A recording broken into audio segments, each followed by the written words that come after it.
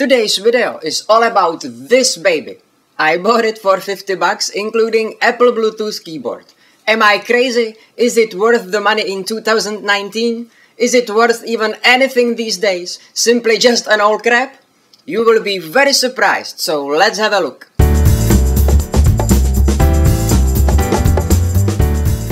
Hi, I'm Teresa from Morgonaut.cloud and I work with Apple computers for more than 30 years. I love them, so I shoot videos about it.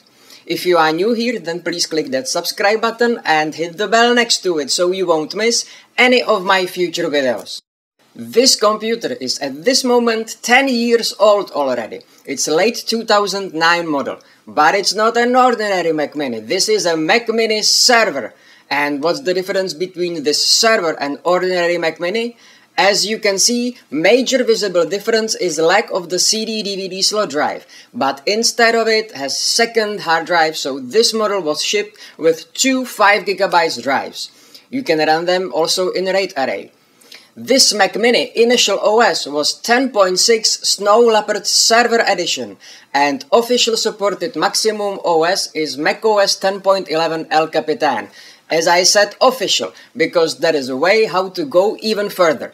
Let's talk about shortly about its specs. It has Intel Core 2 Duo 2.53 GHz, NVIDIA GeForce 9400M with 256 MB of shared memory, two 500 GB 2.5 inch hard drives, audio in, audio out, 5 USB 2 ports, mini display port, mini DVI port, 800 megabit FireWire port, gigabit Ethernet, power plug and infrared port for Apple remote control. In one of my next videos I will show you how to replace in this machine the old mechanical hard drives and swap them for modern SSDs. Probably most people are interested if it's able to play YouTube videos. I will show you of course how it goes, but my intent of this video was to give you some new inspiration, to show you for what tasks you can reuse some of these older computers. But I will show you more than that. But first let's have a look for what tasks I personally used this little baby. Sorry, mini baby. I will show you now how it performs while general web browsing. Apple website is quite heavy, but as you can see, this Mac Mini can handle it with ease.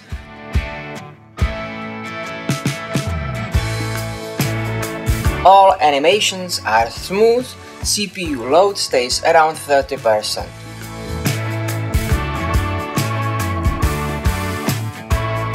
So let's try YouTube performance. I will load some sample 1080p video.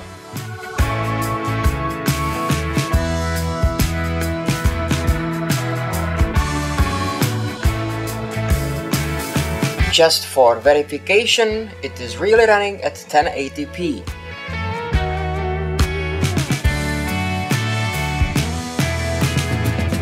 Average CPU load is around 20 to 30%. Also, integrated GPU is not overloaded.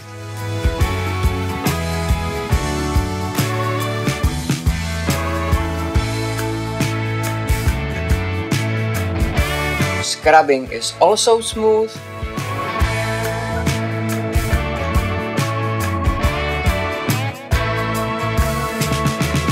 So as you can see, this Mac Mini can watch Full HD videos without any problems.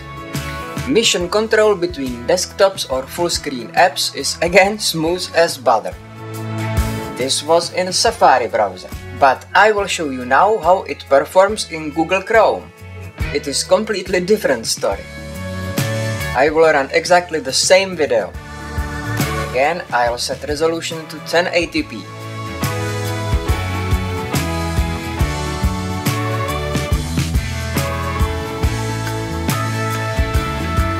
And now look at the CPU usage. It's quite maxed out. Also the GPU load is much higher than with using Safari browser.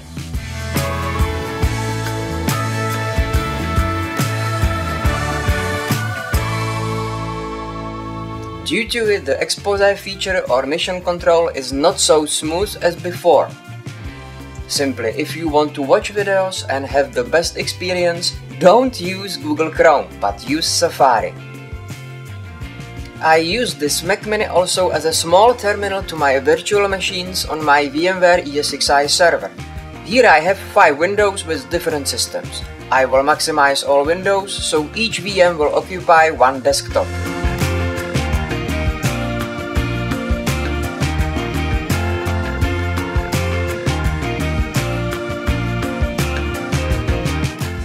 Switching between VM's desktops is again fluid without any problem.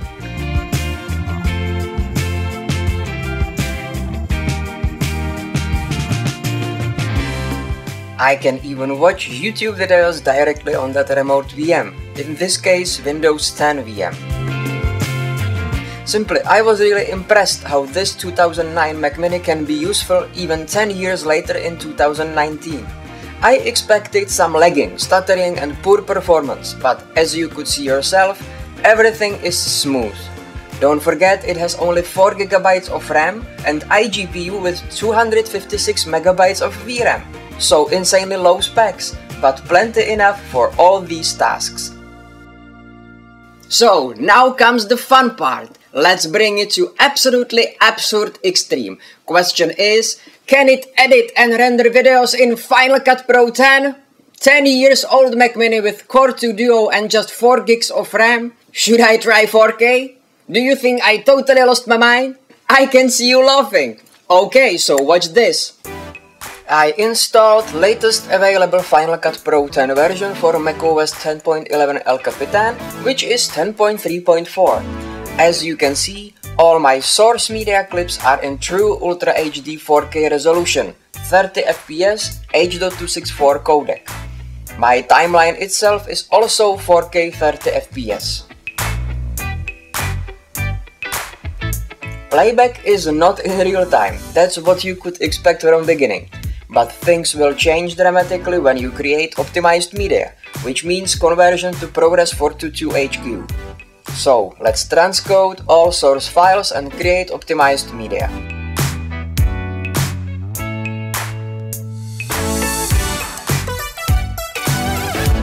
It took a while, but now it is done already.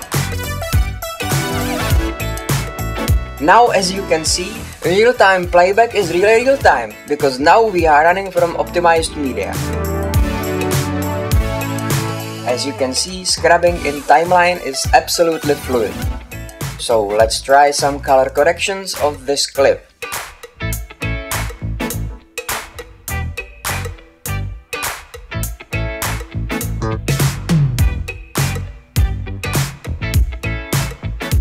Again, absolutely without any problem. Would you believe it in the beginning of my video? This mini baby from year 2009 with Intel Core 2 Duo CPU, just 4 gigs of RAM and only integrated GPU with just 256 megs of VRAM can handle 4K video editing easily like that? It's running on old mechanical hard drive.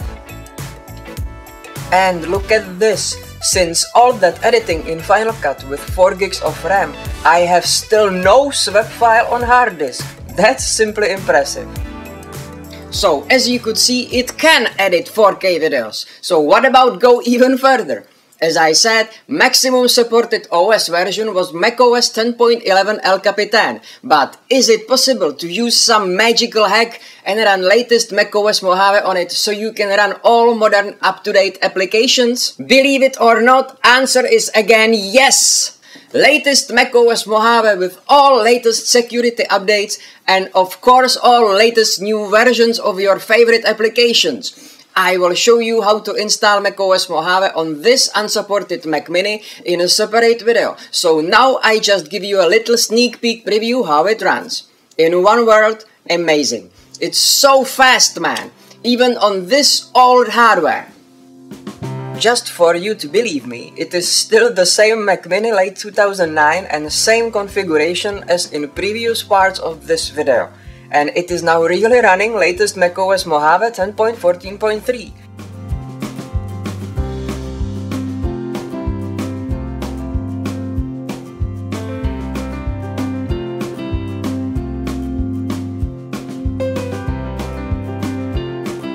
Even with this prehistoric integrated GPU, The system response is amazing. All effects, expose and mission control is absolutely fluid. I have no idea how Apple did it, but I really wonder.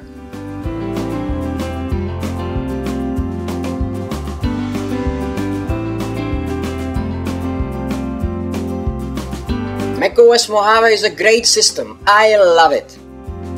So, personally, I would absolutely not put this machine into trash and absolutely not call it old crap. I bought it simply because I love old Macs, maybe just to remind me the good old days.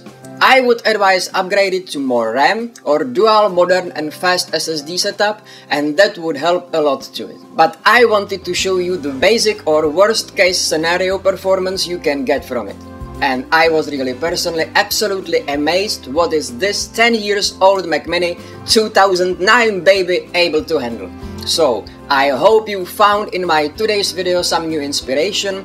If so, please click on the like button below. Share my videos anywhere you can so more people can benefit from it. Subscribe to my channel and hit the bell next to it so you won't miss any of my future videos. You can also join my Macintosh groups on Facebook, Reddit or my website. Links are again now in this video description. So that's all for today. Thank you for watching and see you next time my Macintosh friends.